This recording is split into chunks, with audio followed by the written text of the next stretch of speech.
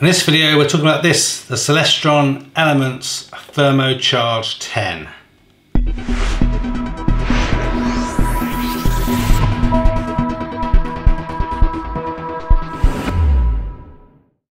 So I'm hoping to do more videos around astronomy, at least my kind of beginner level interest in astronomy. And now the winter's here in the UK, it's, it's damn cold, but at night time the skies are amazingly clear um, and it just looks awesome. So I've been trying to get back out there in, the evening and kind of look at the stars a little bit more. Also want to try and get a bit more astrophotography going on if I can kind of get my head around how to do it really well. But one of the things that I kind of realised is it's just so damn, damn cold and it's not always that optimal for me to be wearing gloves when I'm trying to use a telescope and also got some uh, computer software that I'll talk about on the video on the blog or vlog at some point. Um, but I picked up one of these um, Celestron hand warmers. I haven't unboxed it or anything yet, so I thought we'd do that um, together. I got this, as usual, looking for a bargain in the Amazon warehouse. So got it a little bit cheaper um, than it is in the store normally. It's basically has hopefully 12 hours of heat. So obviously you have to hold it into your hand to get the warmth, but it also has um, USB charge bank as well. I'm not necessarily that interested in that because um, I already had the big Celestron power tank, but I thought perhaps if I'm out walking in the woods or something, I could take this with me on the winter days and it might be handy to have that so I can charge up my phone or what have you. So it's also IP65 rated, so it's got water resistant and dust proof and, and all that sort of thing. Um, it is a lithium ion battery. It's 10,000 milliamp hours, I think. Yep. Um, so yeah, the temperature range is up to around 45 degrees centigrade. That's 114 degrees Fahrenheit. Um, so pretty good. And the charge bank has, is obviously five volts. It has one amp and 2.1 amp um, output options. So awesome. Um, so let's unbox it, see if it's uh, any good. So the packaging is pretty basic, not so much to write home about. A couple of Velcro tabs here. And then we can open this up. So just kind of, like it folds, folds out here like a display case.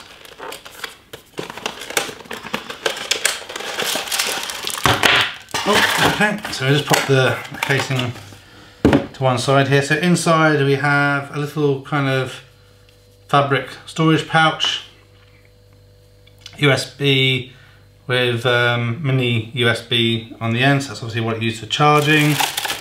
A carabiner and kind of nylon cord, uh, I guess, attachment, so you can put it on your belt or on your bag or what have you.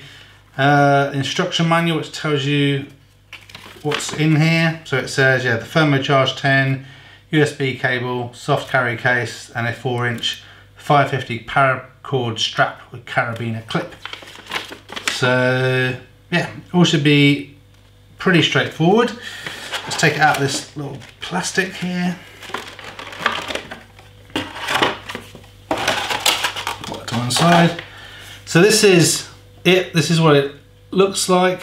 So it actually feels quite nice in your hand. It feels a bit like the same sort of size as one of those armpit roll-on things, but obviously I don't suggest you kind of do that. So yeah, it feels pretty good. So it's kind of got a flathead screw top with a little kind of pop out turny turny thing don't know what the proper name for it is, but if we take this off, then I think underneath it will be the USB charging connectors.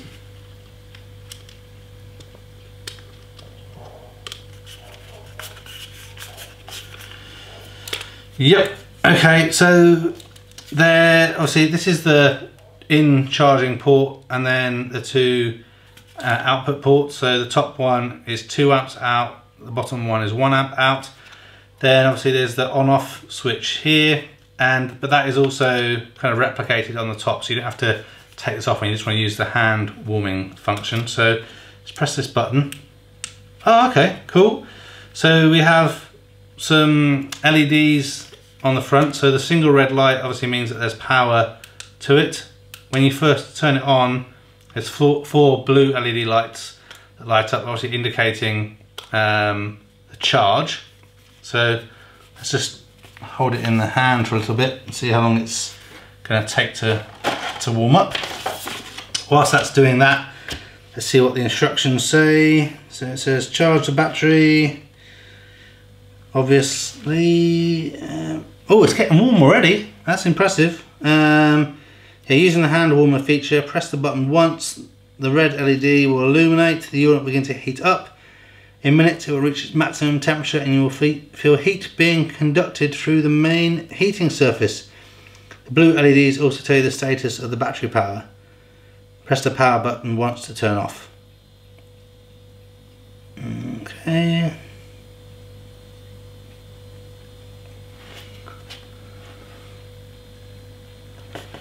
And it says that whenever you plug in a USB device, it automatically starts charging. So you don't have to turn the on and off button is simply for uh, the hand warming function. And this is getting, this is getting really hot.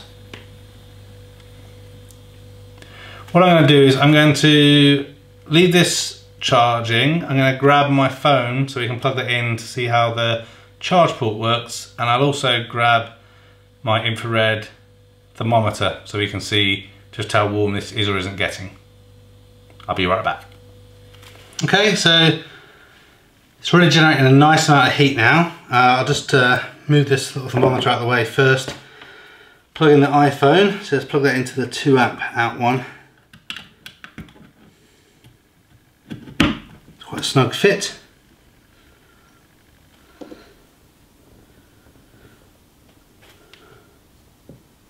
It's not charging.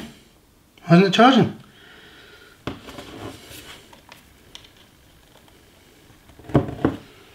Okay, that's not a good sign, is it? So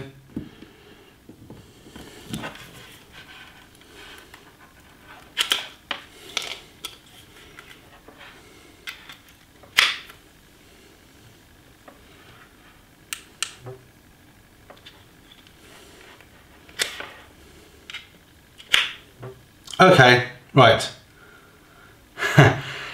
you can't be heating and charging at the same time. So basically the green light means it's using the, the power for um, charging things. When it's in the red light mode, it means it's heating the hand warmer. So that's a little bit disappointing actually that you can't do both. I guess it kind of makes sense because you know, it needs to focus the energy somewhere um, but yeah, I thought you'd probably still have to hold it and charge at the same time. So that's a little bit disappointing. Uh, and actually cooled down quite a bit from just that short period of time of turning it off. So let's uh, just leave it a few more minutes and then uh, we'll come back and see kind of what it's like temperature wise. Okay, so it's been on for a little while now and it feels really hot in my hand. Obviously not so hot that I want to drop it, but definitely warm enough that I can imagine I that side, kind of just popping my hands around it is definitely going to heat things up. So let's see how hot it is or isn't getting here. So remember it's supposed to be 45 degrees centigrade. So let's get this uh, going on. Okay, so 39, 40, 41, 38. Let's just move it around a little bit. 41.2.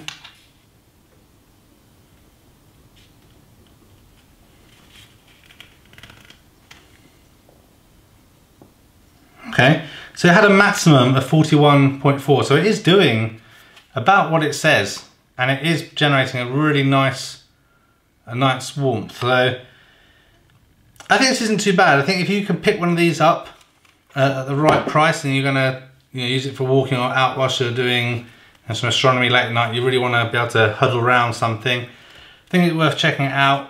Again, I probably wouldn't, unless you see a deal, I probably wouldn't bother buying the one that had the USB um, charging options because as you found out, you can't use the charging options whilst you're heating it.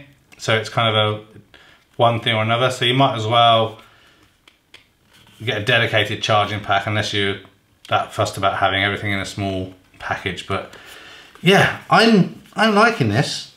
I think this is good. It's a nice small item. It doesn't take up a lot of space.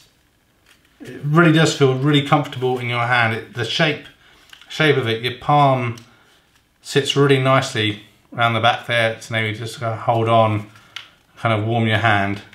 Um, and it's, it's interesting because it's warm around the body, but the top and the bottom are nice and cool. So the way that it manages uh, and doesn't waste the heat is it's really good. Let's just check again before we turn it off.